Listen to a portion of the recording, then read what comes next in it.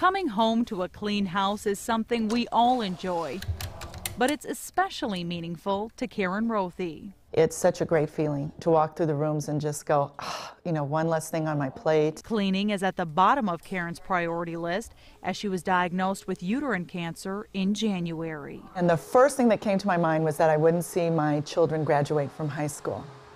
And then I called my husband to come home. And I, I think when I heard him crying, then I started crying. Through her nurse, Karen learned about Cleaning for a Reason. This organization finds free house cleaning services for women going through cancer treatment. So when she handed me that paper, I was like, oh my gosh, it was the Holy Grail. it was wonderful. The maids are a part of Cleaning for a Reason.